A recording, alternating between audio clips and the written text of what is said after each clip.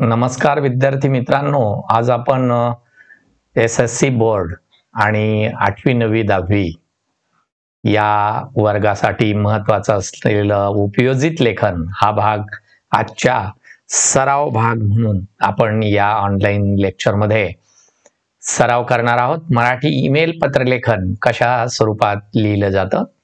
त्यामध्ये मराठी ईमेल पत्रलेखनामध्ये म्हणजे नव्या स्वरूपामध्ये नव्या आराखड्यानुसार मागणी पत्र कशा पद्धतीने लिहिलं जातं याचा सराव आजच्या या ऑनलाईन लेक्चरमध्ये आपण करणार आहोत. चला तर आठवी पासून अगदी बारावी पर्यंत महत्त्वाचा असलेला हा ऑनलाईन लेक्चर आपण सर्वजण अगदी शेवटपर्यंत पहा. पहिला आहे मागणी पत्र. सुरुवातीला पहा. डाव्या कोपऱ्यामध्ये दिनांक लिहायला विसरायचं नाही.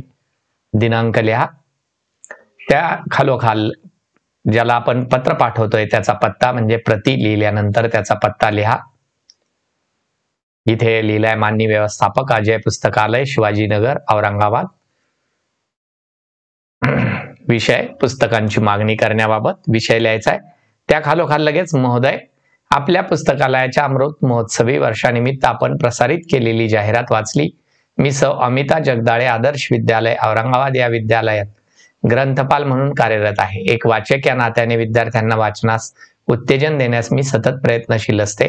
आपल्या जाहिरातीतून खास विद्यार्थ्यांसाठी आपण सवलतीच्या जरात जी पुस्तक विक्री करत आहात हे आम्हाला समजलं आणि या सुवर्ण संधीचा लाभ घेऊन जास्तीत जास्त पुस्तके विद्यार्थ्यांपर्यंत कशी पोहोचवावीत म्हणून काही पुस्तकांची मागणी करीत आहे.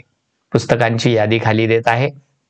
पुस्तकांची यादी ययाती वि स खांडेकर तीन प्रती पडछाया नासी फडके तीन प्रती बटाट्याची चाळ पु ल देशपांडे पाच प्रती विस्मयकारी विज्ञान कथा डॉक्टर सुनील विभूते चार प्रती. अशा पद्धतीने यादी केलेली आहे. आमचा ईमेल पत्ता सोबत पाठवत आहोत. पुस्तकाची एकूण देय रक्कम टपाल खर्च पत्राद्वारे कळवावा तसेच आपल्या खाते number कळवावा.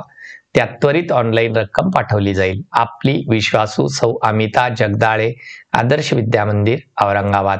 Email A H J at Gmail dot com अशा पद्धतीने आपण पहिलं मागणीपत्र पाहिलं.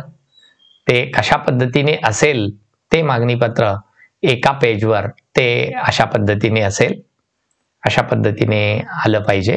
या पूर्ण म्हणजे डाव्या बाजूलाच लिहिल्या गेलं पाहिजे ईमेल स्वरूपामध्ये.